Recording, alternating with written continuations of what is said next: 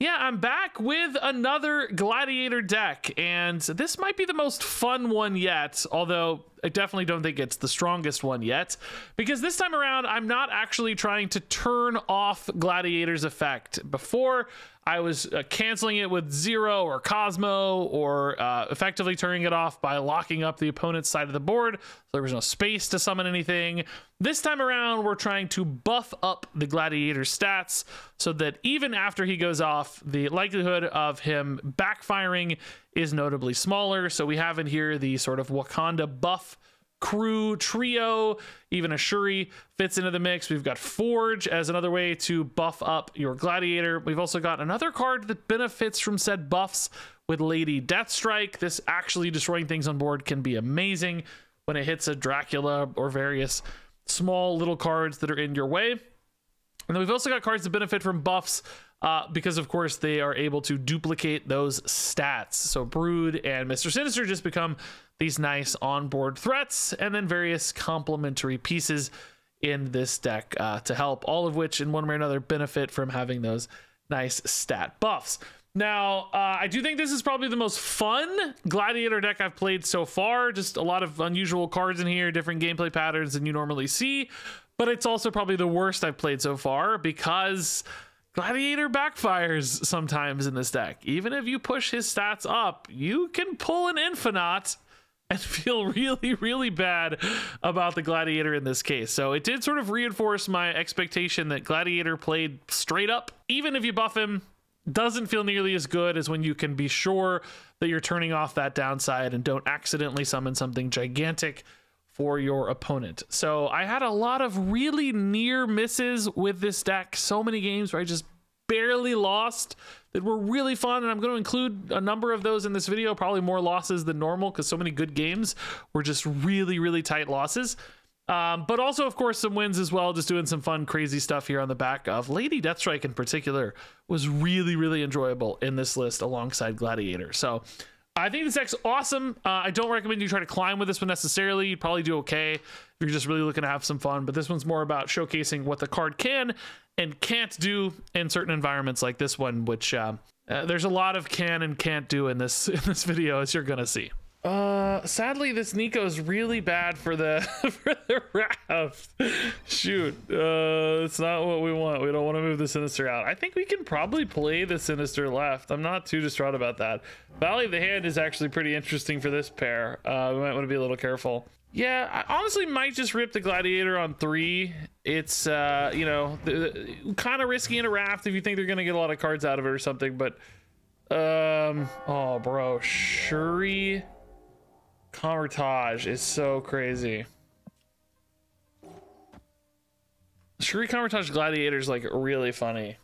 I don't know if it's any good, but it's really funny. I probably just play the Captain Marvel here though to get the raft, right? I, I, like that it doesn't lock us in. We still have quite a bit of power committed here. It's nice. Uh, we got the swarm. It's dead. Cool. Okay. Discard deck, it seems. Apoc naturally gone twice here, so he's really big, which is really tough for uh, like a Dracula roll. They have it. We're gonna have a hard time beating any Dracula location. Forge is kind of almost equally uh useful but i really like the marvel i do like the buffed marvel a ton though the opponent has not gone to raft at all so could i maybe just go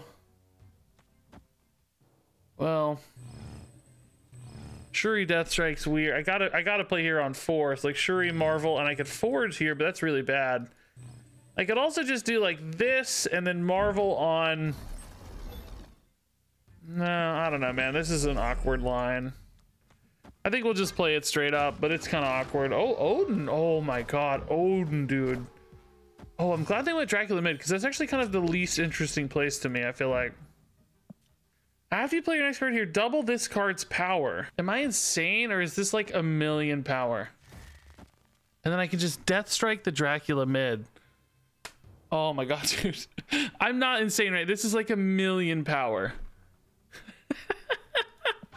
and I forgot Deathstrike's a perfect answer to Dracula. This this is this has got to be the most insane. This has got to be the most insane Nico I've ever played. I don't know. This is crazy, dude. Odin's big too, I guess, isn't he? I just realized how big Odin is. Odin is got to be the sickest card we've ever seen. Oh my god, dude.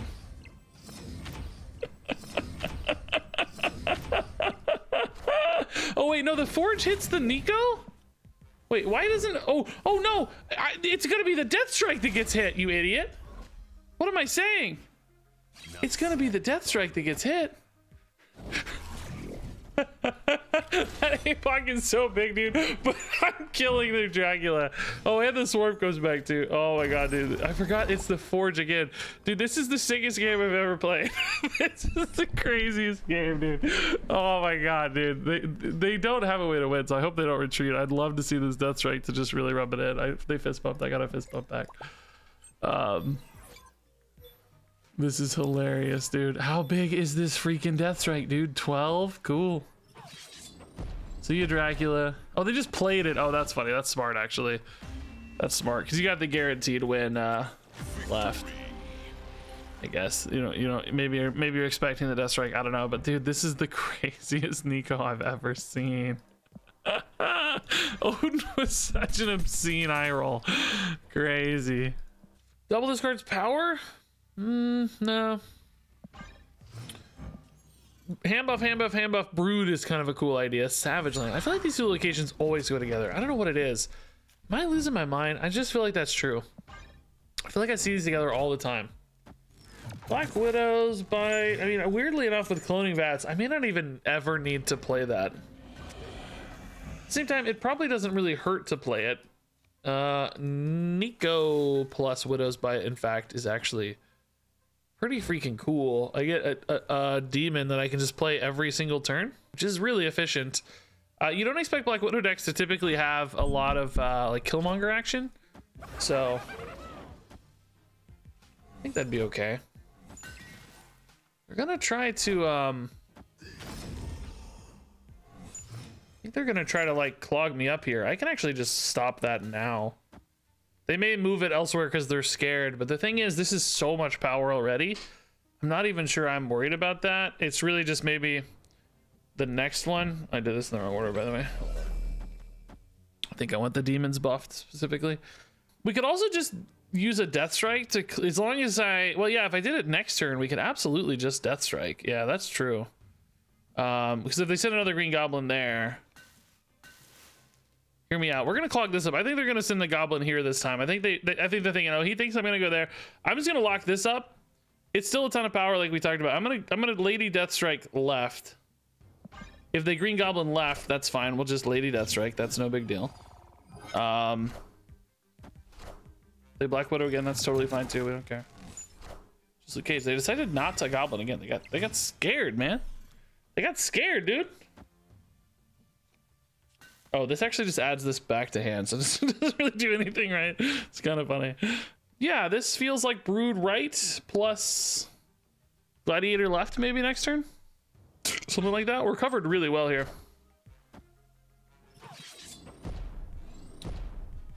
So we should have space here still after whatever this is. It's not two goblins or something, is it? Ooh. Hazmat's kind of scary. I think this order's wrong. They could have debuffed this rock, right?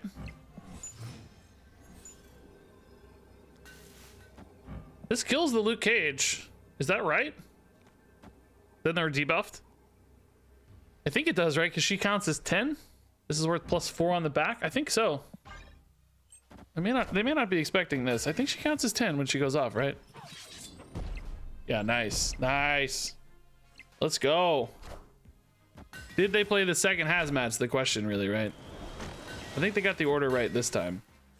But, uh they're also now suffering the debuffs. So, uh, cool, dude. Yeah, big. That Luke Cage removed like a ridiculous amount of power, right? It's crazy strong. They knew I had the Death Strike too, so maybe they just didn't think I'd see that or didn't think about it. Yeah. Cool game, dude. Death Strike owning. Ah, they're mad. nah, they're mad. Yeah, Death Strike's really good against junk decks. So, ooh, cloning vat, second straight game. Cool. Um, yeah, I mean, not looking at Shuri too closely this game. Nico, that was the uh, add a copy to hands. Okay. That's what cloning vats does as well, you know?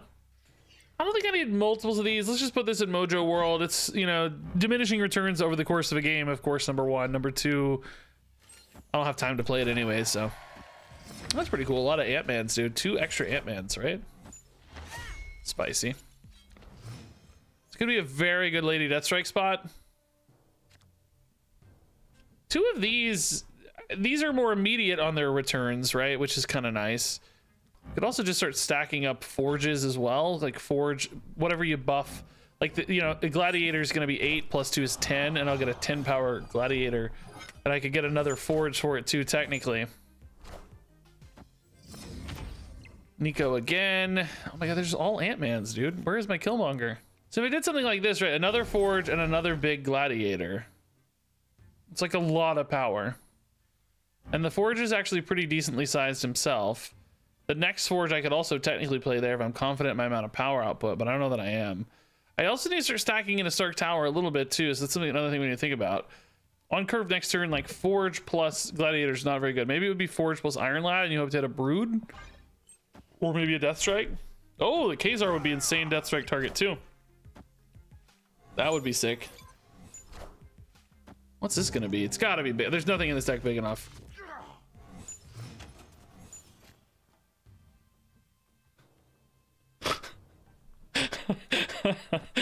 Excuse me? it's Dracula Zoo, dude. That's crazy. I love it. I put a list up uh, like what a week or two ago. Maybe it's my list. Did I make that list or did I play somebody else's list? I don't remember. But the list I spotlighted anyway. I know I made another list with Strong Guy shortly after that, but I don't think I made a video on it. Oh, Dracula would be another insanely cool freaking uh, Death Strike target, dude. Come on, Death Strike one time. Come on, dude, one time. We're such happy people, dude. That's so insane.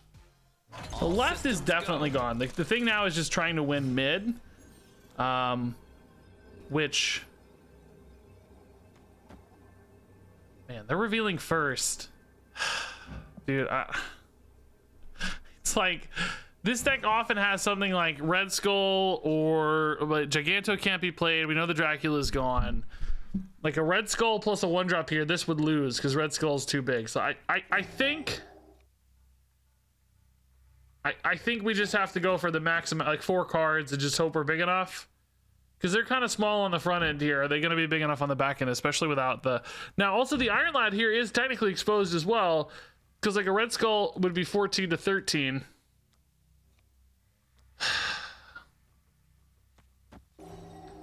But I just... Uh, they have Titania plus Red Skull as well. I don't really think we can... Uh, if they have Red Skull, I think we just lose, basically, is the math. I think they're going to go mid. Okay, Zero's fine. Red Skull? Yeah, are we? I don't think we're big enough, right? That's too big. 10 is not enough to keep up with Red Skull. Ant-Man plus Red Skull. Yeah, so see, the, the Deathstrike just wouldn't have beat Red Skull face up. Uh, Deathstrike left just loses the Infinite. I mean, that's a crazy game, right? We, we win this, I think, a vast majority of the time if we don't hit an Infinite. There's just no other way for me to add more power here while still getting to four. Remember, we have to get to four for Mojo World, so... If Okoye was six or had a way to play a one drop behind Deathstrike, I think we could have won this that way. Like if I had a Nico to drop in in the back, right? So you Deathstrike away these three, then you have the Nico behind. All right. Uh, yeah, Jeff. Okay. Deathstrike's interesting.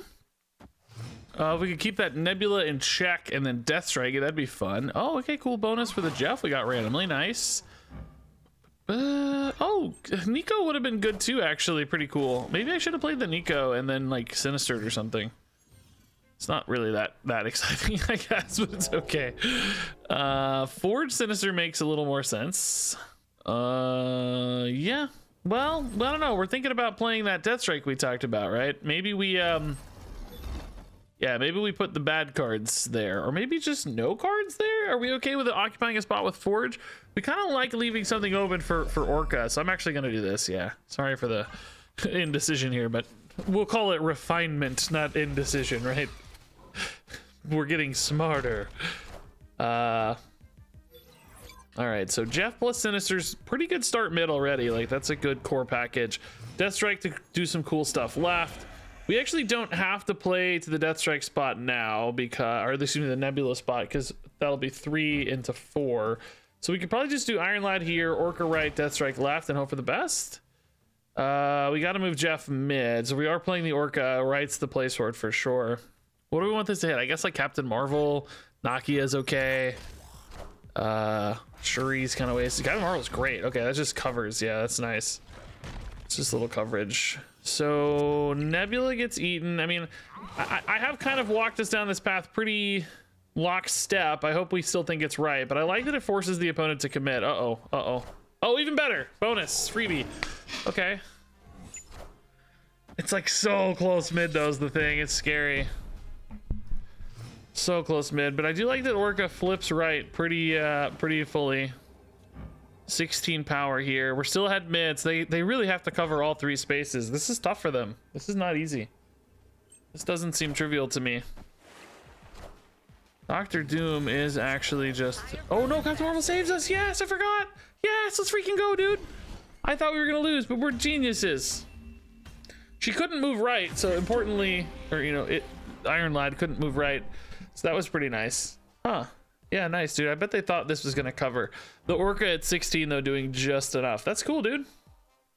Great game. Perfect game, actually. Yeah, nice. Hammertage. Okay, that can be crazy good for us. Insane on Shuri, insane on Forge, sometimes insane on Nico.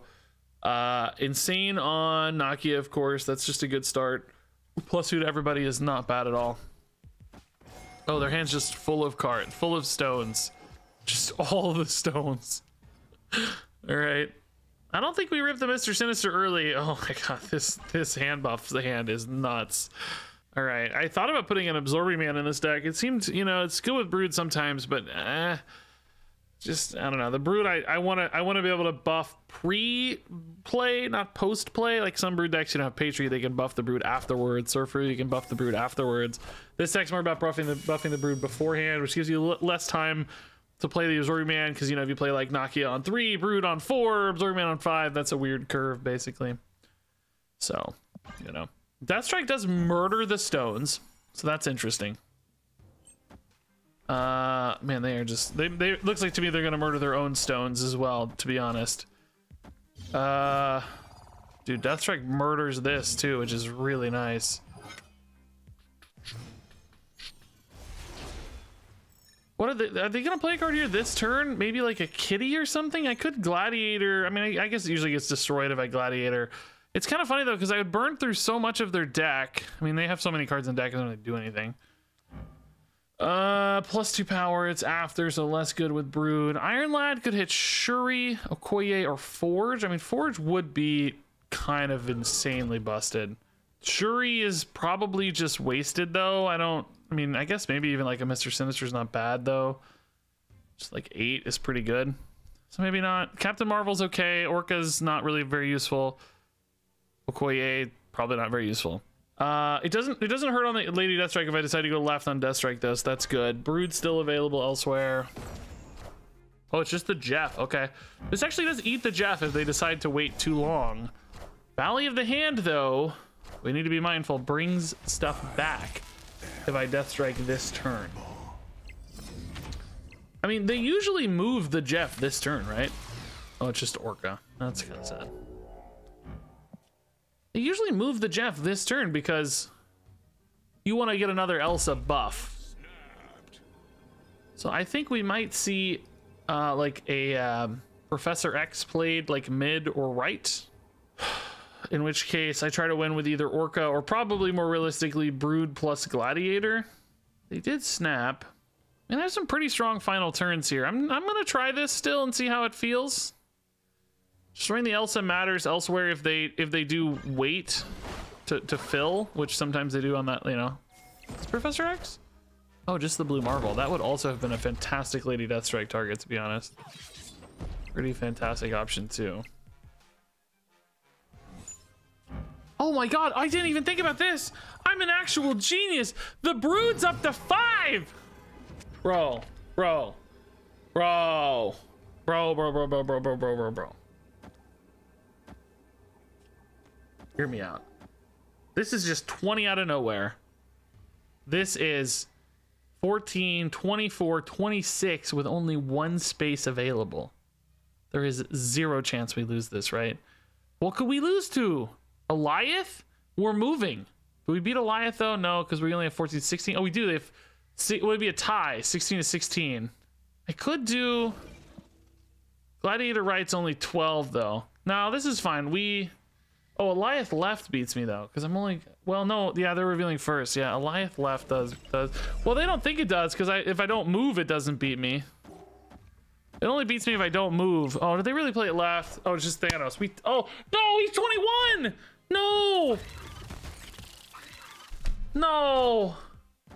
Be something that ruins him somehow. I don't know how. Oh, it doesn't matter. Oh my god, he's 21, bro. I should have just went here for 15, maybe. Oh, it's not 15 because the soul stone. Bro, he's 21 with the blue marvel. There's only three of these right, and they're each only four. It's only 12 power right. Nakia was two. It would be 14 for the tie, but we'd lose a tiebreaker. Could have like maybe left, you know, something left. But that feels weird because you just waste a space. I mean, we had 14 there. We could have just played the Gladiator left and then, you know, played the Broods mid. But again, you, you get the free Brood by playing on Kamar-Taj. Ah, man, that's a tough game. That's a really tough game. All right. So yeah, we like we do like seeing Okoye early, but unfortunately we have Sinister and Brood in hand. Now that's a they're still good at Death's Domain, so maybe maybe just fine. And we can use you know Brood or um, a Nico, for instance, to still buff those uh, for that upside uh, more immediately. Okoye Nakia would be good too, still actually. Ooh, that's good for Brood as well. Wow. Uh, double this card's power, a little less interesting. Maybe we put the Mr. Sinister here for now. We still have like a Marvel that can cover. I think Brood makes a lot of sense in DC, so let's try that. Uh, even just two here can be a surprising amount of power that catches people off guard. Iron Lad next turn. Captain Marvel would be okay. Certainly Gladiator and Lady Deathstrike could be fine. Maybe not great, depending on where they go. Captain America, what? Okay, now that is actually a bit of a shocker. Oh, oh, after you play your next card, give it plus two powers. That's actually perfect here for the Brood. Shuri does the same thing, basically, but... Oh, wait, this is after, though, isn't it? I don't think it works like Forge. This is give the next card. This is after. I don't think it works the same. So, you know, you, you could also Shuri into the Brood, but that seems kind of bad, too.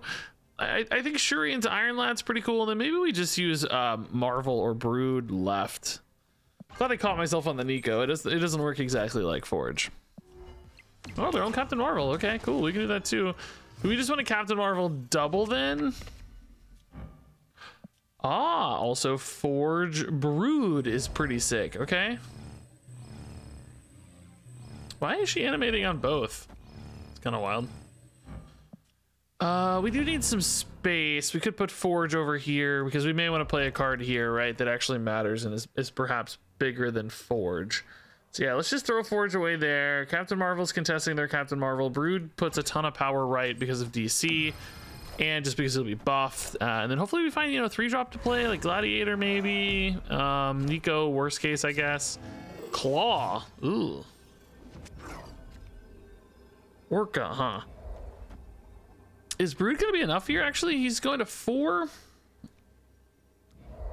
Um, that's 12 plus another six is 18. I mean, it's kind of enough, but not, not really technically. It's also only ties the claw. Now that said, their Captain Marvel's moving away from here. Mine's moving away from here. So that probably gives us the advantage, right? Onslaught's a little, little wacky, maybe. Be a bit of a problem. But I don't know. Still with Captain Marvel, I think we might be okay. Because Captain Marvel wants to move. Um, oh, well, it doesn't even matter. We're just fine mid. If Yeah, okay. This this also solves it. Yeah, same difference. If the Marvels moved, uh, we'd be fine too. Yeah, the Broodlings on DC just made the big difference. Sinister Clone kind of for free. Yeah, okay, cool. Weird game. Not the strongest game, but it worked. Oh, Koige early, nice. And um, Sinister and Brood both in deck currently, which is fantastic. Uh, we could cheese out some stuff. Deathstrike's gonna murder a bunch of gins. That's funny. 9.99 ongoing loser taking out the trash. so I was thinking about this the other day. Like, um, you know, we paid ten dollars for the season pass card in Marvel Snap.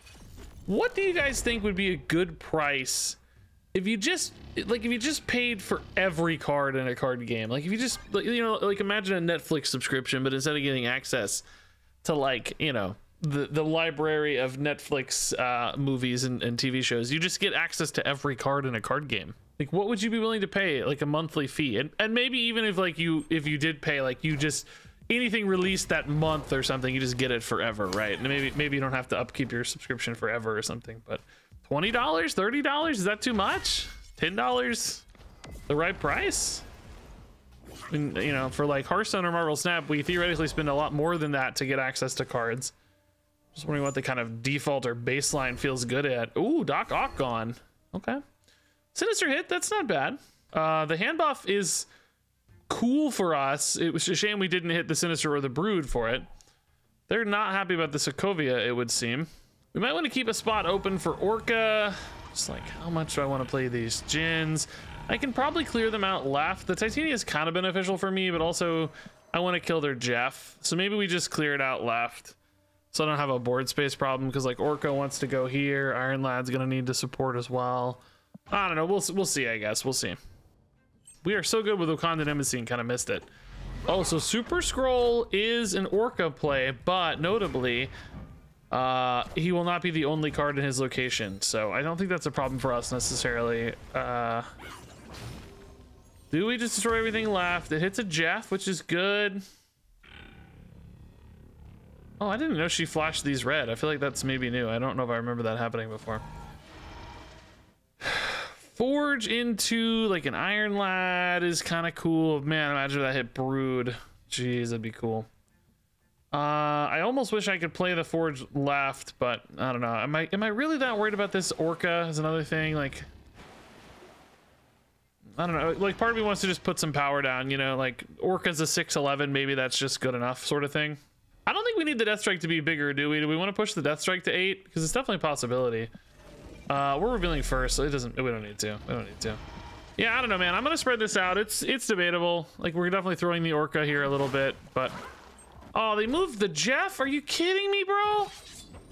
Why would you move it this turn? And uh, this is not me accusing of stream sniping, by the way, because I'm not I'm not streaming unless they have a feed directly into my house.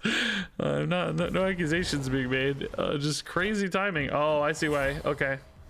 Well, still though, I guess we kind of uh, saved ourselves a little bit of a problem here because they were hoping to like lock me up, and I absolutely did not suffer the lockdown consequences there. So, eh, kind of a nice backup, I guess. Gladiator. Oh. Gladiator plus Iron Lad? It's kind of cool. Could even put a Jin in too so I have like the chance to play something alongside Orka maybe? Alright man, Gladiator for 10 is going to destroy something because they already have a Doc Ock. They don't have any bigger cards. There's just like zero chance. Oh, that Green Goblin screws me left. That's annoying. I just played the Jin there. Jin and I mean they may still have to put power there though honestly like it looks to me like they let's see how big this is yeah okay just the Jin so they do have to commit a card which is kind of nice for us it's not free for them you know Gladiator hits uh Black Widow are you kidding me dude Gladiator dude you suck Shuri okay I mean yeah, I, I, I think it's pretty simply Orka right. That's the where we're closest. And then maybe we just kind of hope they can't get their mid and left because they have to do both. I mean, they have a billion power, so, or excuse me, a, a billion energy. Um, and, and five cards in hand, but I, I guess a lot of them are Jin. So, like, are they going to be strong enough to contest, you know, basically 10 power here? It seems kind of impossible. Can they do it? Like we already saw their big 10 power card gone. I don't know what they'd have. Like their big power might be like a hobgoblin, but that's not going to connect.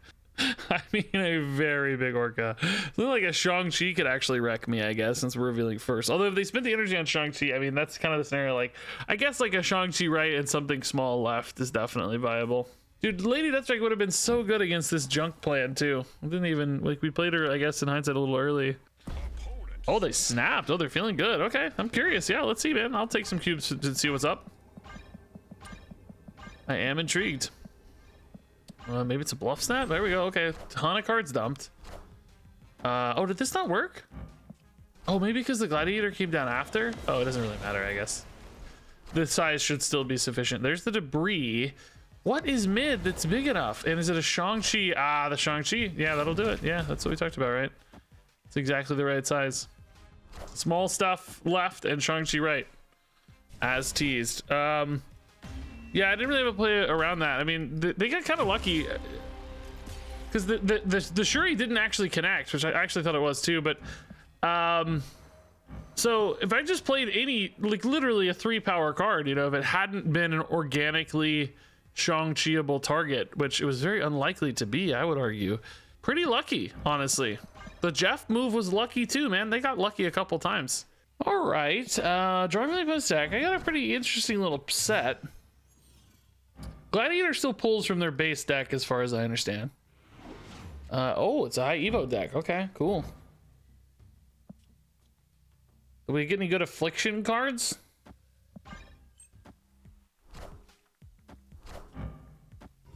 Lady Deathstrike left is currently looking amazing, but it depends on that sunspot scaling. Although Shuri Deathstrike probably works, to be honest. Oh, that's good too, I feel like. Dang, there's some good cards here. Um, all right, we're gonna rip the gladiator here. I trust. We're gonna go Shuri Deathstrike left. Trust the gladiator just always works. It definitely never hits the Hulk. Never ever. Not one time does it hit the Hulk. Oh, that actually kind of helps me a little bit. It never hits the Hulk. Perfect, that's fine. Uh, that's actually a bad draw out of their deck that I get to benefit from now. That's cool. Thank you. Rogue, probably not worth it. I gotta have to. I'm gonna have to decide here, depending on how big this sunspot gets. Do I trust the Deathstrike or do I just go for the A bomb? Or arguably even the thing. A bomb is worth plus six over the thing after Shuri though, so thing's only negative three. I mean, it does it does debuff the A bomb or, or discount the A bomb for turn six though, so that's that's kind of worth something, I guess. Hmm. Okay. Another afflicted card. He's now three. This afflicts two, so he costs one. It's pretty good. That that scorpion debuff though does hit this thing extra hard, which is kind of unfortunate. Oh, another another debuff. Nice. So abomination is super cheap. Oh, hazmat, bro. My A bomb is free. Let's go. Uh, Deathstrike. Um. I don't know, man. I guess Captain Marvel currently just contests mid really well, right? Bro, are you kidding me with this hazmat right now? Yeah, we are just farming, dude. it's great playing a good deck, dude. What do you know? That went perfectly. I haven't played High Evo in a long time. Does it always feel that good? That's what I'm missing out on right now?